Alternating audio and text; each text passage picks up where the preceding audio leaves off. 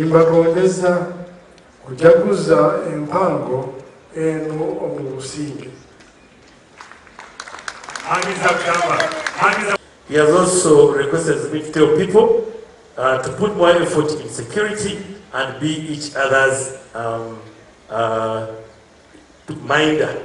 And also as requesting government to increase on the security of the people so that we have a peaceful nation uh, to enable people to do their work very well. Although uh, this is not a, an occasion for parliament, I want to just reaffirm that the members of parliament from, from Bunyoro have presented you very, very effectively.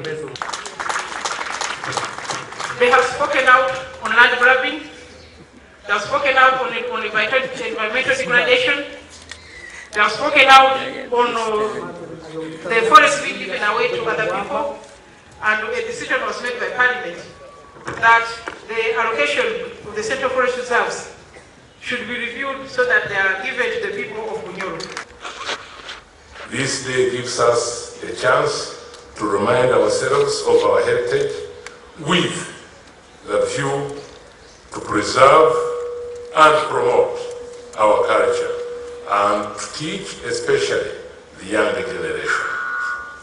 We are able to receive counsel and wisdom from our elders and most importantly take stock in light of how far we have gone. akatimbe